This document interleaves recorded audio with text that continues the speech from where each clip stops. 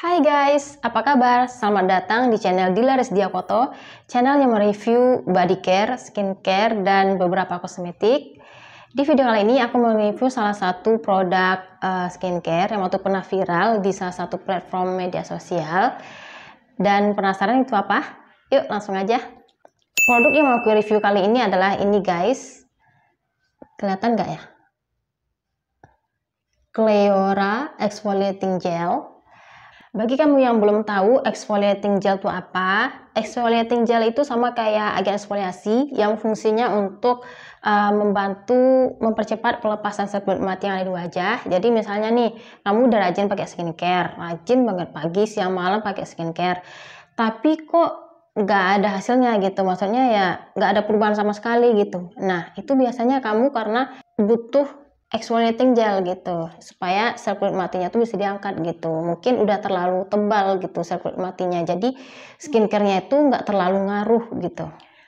Produk ini aku beli di salah satu e-commerce harganya tuh sekitar 60 ribuan isinya 50 ml lumayan banyak juga karena exfoliating gel itu tidak untuk dipakai setiap hari ya teman-teman. Pakainya itu maksimal tiga kali seminggu dan kadang juga ya cukup satu atau dua kali seminggu aja gitu. Nggak boleh terlalu sering karena nanti takutnya kulitnya jadi rusak gitu kan. Ya. Kalau kita lihat dari segi aroma aromanya ya seperti aroma bunga ya tapi bunga apa ya? Pokoknya aromanya nggak nggak apa ya?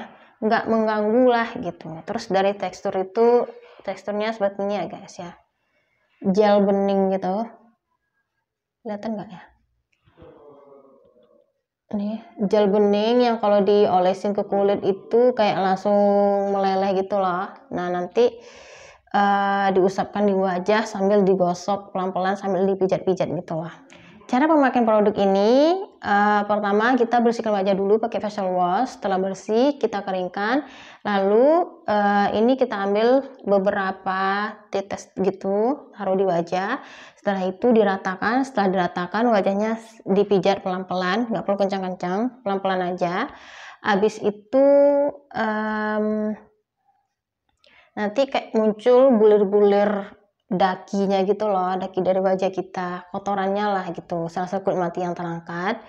Nah, nanti setelah itu dibersihkan wajahnya pakai facial wash lagi. Kalau aku sih biasanya kayak gitu. Kalau dari segi packaging, ini packagingnya kayak tube gitu ya. Cukup travel friendly untuk dibawa uh, bepergian, jadi nggak banyak makan tempat.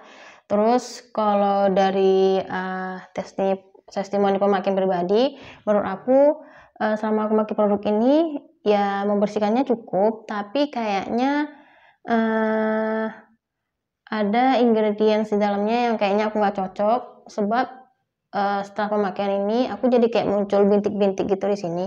Bukan beruntusan sih tapi kayak bintik-bintik aja gitu di sini. Dan kayaknya uh, muka aku juga jadi kayak perih gitu setelah pemakaian ini. Jadi ya aku pribadi kayaknya bagi teman-teman yang mungkin kulitnya agak sensitif dicek dulu ingredientsnya cocok atau enggak.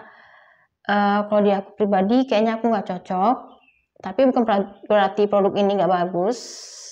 Produk ini ya bagus tapi ya mungkin nggak cocok aja di aku gitu.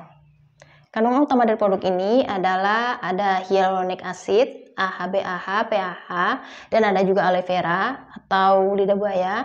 Nah, menurut aku yang bikin produk ini kayaknya uh, kurang cocok di aku adalah aloe veranya karena berdasarkan pemakaian produk, uh, maksudnya beberapa produk sebelum-sebelumnya yang mengandung aloe vera, aku tuh kayaknya suka jadi kayak uh, jerawatan atau ada masalahnya gitu. Jadi kayaknya menurut aku uh, aloe veranya itu yang bikin aku nggak cocok dengan produk ini.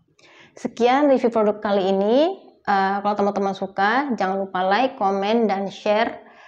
Kalau teman-teman mau request ada produk apa lagi yang mau direview, silahkan tinggalkan jejak di kolom komentar ya. Terima kasih.